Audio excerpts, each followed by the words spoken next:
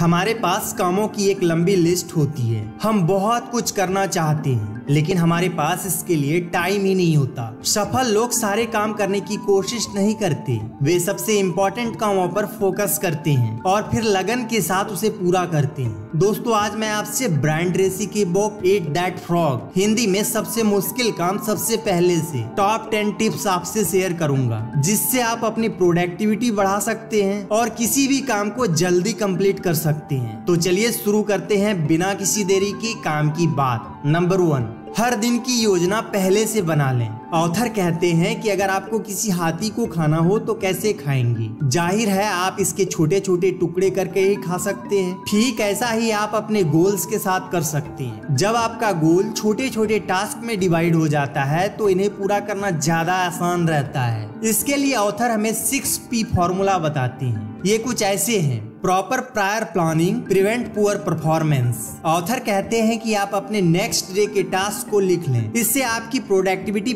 25 percent बढ़ जाएगी। अगर आपको कोई प्रोजेक्ट पूरा करना है तो फ़र्स्ट स्टेप ये लें कि वो सारे स्टेप लिख लो, जो आपको अपना गोल अचीव करने में चाहिए। और जब आप इन स्टेप पर काम करो तो जो हो जाए, उसे लिस्ट से हटा दो या काट दो, जिससे आपको फील हो कि टास्क पर आपका पूरा कंट्रोल है।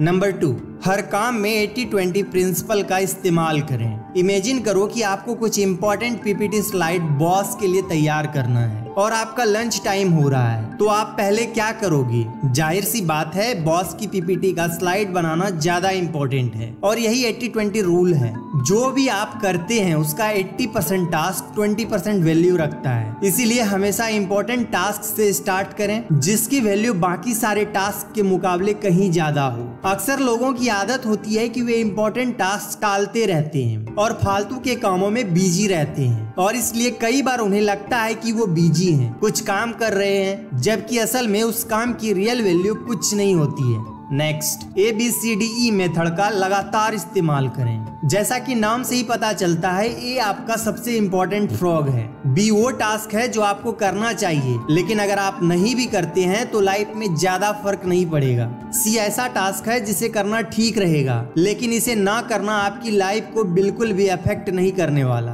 डी एक ऐसा टास्क है जो आप किसी दूसरे को असाइन कर सकते हैं। ई वो टास्क है जो आप अवॉइड कर सकते हैं। और ये आपकी लाइफ में कोई इफ़ेक्ट नहीं डालेगा। आपको काफ़ी स्ट्रिक्टनेस दिखानी पड़ेगी, जिससे कि आप अपना टास्क इमीडिएटली स्टार्ट कर दें और जब तक पूरा ना हो तब तक ना रुकें।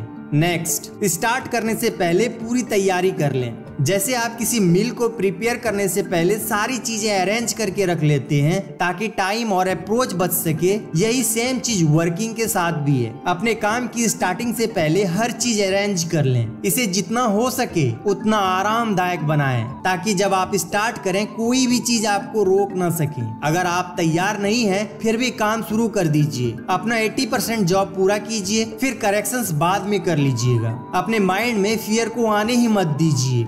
नेक्स्ट अपनी योग्यता बढ़ाओ। अगर आप सक्सेस चाहते हैं तो सीखना कभी ना छोड़ें। कुछ ना कुछ हमेशा सीखते रहिए। क्योंकि अगर आप टाइम के साथ बेटर नहीं होंगे तो ज़ाहिर है कि आप आगे प्रोग्रेस नहीं कर रहे हैं। जो भी आपके वीक पॉइंट्स है, इन्हें दूर करें और खुद को बेटर से बेटर बनाने की कोशिश करें। और लर्निंग तो कभी ना छोड़ें। दोस्तों, दुनिया में हर चीज़ सीखी जा सकती है। ये तीन स्टेप है जिन्हें फॉलो करके आप अपने फ़ील्ड में मास्टर बन सकते हैं। फ़र्स्ट, जो भी आपकी फ़ील्ड है, उसके बारे में एटलीस्ट 60 मिनट डेली पढ़ें। इसके बाद उससे रिलेटेड कोर्स या सेमिनार अटेंड करें, ताकि आप उस फ़ील्ड में और भी बेटर हो जाएँ। और फाइनली अपनी कार में ट्रैवल करते हुए ऑडियो प्रोग्राम सुने।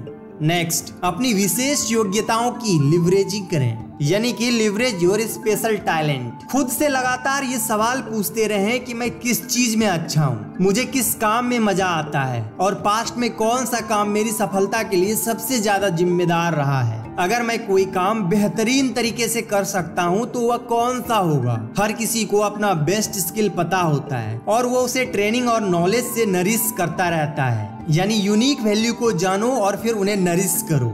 नेक्स्ट अपनी बाधाओं को पहचाने। सफल लोग हमेशा बाधाओं का विश्लेषण इस सवाल से स्टार्ट करते हैं, मेरे भीतर ऐसा क्या है जिसने मुझे पीछे रोक रखा है? वे अपनी ज़िंदगी की पूरी ज़िम्मेदारी लेते हैं और अपनी समस्या के कारण और समाधान दोनों ही के लिए अपने भीतर झांकते हैं। सीमित करने वाले योग्यता का अपने भीतर पता लगाने के लिए आप में गहराई से झांकने की ईमानदारी होनी चाहिए। यह वह योग्यता है जिससे लक्ष्य हासिल करने की आपकी गति तय होती है। पूछते रहें मेरे मनचाहे परिणाम पाने की गति किस चीज़ से तय होती है? आपके लिमिटिंग फैक्टर्स 80 परसेंट तो इंटरनल होते हैं, जैसे कि क्वालिटीज और एबिलिटीज और 20 परसेंट होते हैं, जैसे कि आपके कंप्यूटर्स नेक्स्ट खुद पर दबाव डालें। दुनिया ऐसे लोगों से भरी पड़ी है जो इस बात का इंतज़ार कर रहे हैं कि कोई आए और उन्हें वैसा इंसान बनने के लिए प्रेरित करे, जैसा वे बनना चाहते हैं। दिक्कत यह है कि कोई भी उनकी मदद के लिए नहीं आ रहा है। ये लोग उस सड़क पर बस का इंतज़ार कर रहे हैं, जहाँ से कभी कोई बस गुजरती ही नहीं है। अगर वे अपनी ज़िंदगी की ज़िम्मेदारी नहीं लेते हैं और खुद पर दबाव नहीं डालते तो वे हमेशा इंतज़ार ही करते रहेंगे। और ज़्यादातर लोग यही करते हैं। सिर्फ़ लगभग दो परसेंट लोग बगैर किसी सुपरविजन के काम कर सकते हैं। इन लोगों को हम लीडर्स कहते हैं। आपको भी ऐसा ही व्यक्ति बनना है और आप ऐसे बन भी सकते हैं। बसरते आप ठान लें लीडर बनना है तो खुद पर प्रेशर डालना होगा। देर तक काम करने की हैबिट बनाना होगा। खुद को आगे बढ़ाने का मौका देना होगा। नेक्स्ट अपने पर्सनल पावर को मैक्सिमाइज करें। आपका शरीर एक मशीन की तरह है, जो एनर्जी पैदा करने के लिए भोजन, पानी और विश्राम का उपयोग करता है। और इसी एनर्जी से आप अपनी लाइफ और जॉब्स के इम्पोर्टेंट काम करते हैं। काम के खत्म होते होते प्रोडक्टिविटी खत्म होने लगती है। ज़्यादा देर तक काम करने का मतलब है कि आप ज़्यादा टाइम में थोड़ा ही काम पूरा कर पाएँगे। अगर आप कुछ प्रोडक्टिव नहीं कर रहे हैं तो सारी रात जागना बेकार है। प्रोडक्टिव लाइफ स्टाइल के लिए रात में जल्दी सो जाइए और रेगुलर वेकेशन लेते रहिए। हेल्दी खाना खाइए, अपने डेली रूटीन में फिटनेस सेशन के लिए ज़रूर जगह रखिए। नेक्स्ट खुद को एक्शन लेने के लिए मोटिवेट करें। खुद के बारे में पॉजिटिव सोचें, बोलें, जो कुछ आपके हाथ में होता है, उसका पॉजिटिव मीनिंग निकालें। ऑप्टिमिस्टिक बनना सीखा जा सकता है, जो कि आपके लाइफ के हर एस्पेक्ट को अफेक्ट करेगा। इसके लिए आप हर सिचुएशन में अच्छाई देखें, हर फेलियर में कोई लेसन देखें, हर परेशानी का कोई सोल्यूशन देखें। ऑप्टिमिस्टिक लोग हमेशा अपने गोल के बारे में सोचते हैं और बात करते हैं। उनके माइंड में यही चलता रहता है, नेक्स्ट स्टेप क्या होगा? और उन्हें अपना गोल अचीव करने के लिए अब क्या करना चाहिए? दोस्तों, ये थे सबसे मुश्किल काम, सबसे पहले की समरी। आपको ये वीडियो कैसी लगी हमें कमेंट करके ज़रूर बताइए। अगर वीडियो पसंद आई तो वीडियो को लाइक कीजिए, शेयर कीजिए।